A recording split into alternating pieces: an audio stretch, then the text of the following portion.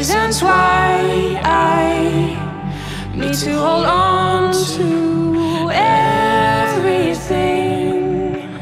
I don't know what to say now.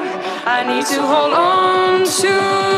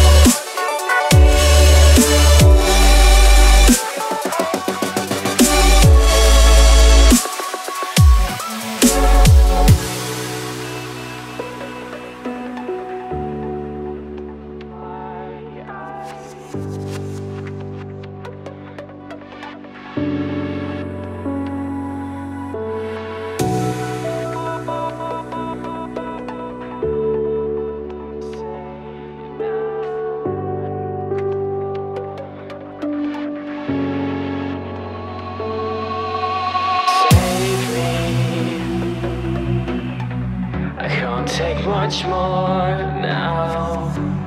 I can't hold everything. I don't know what to say now.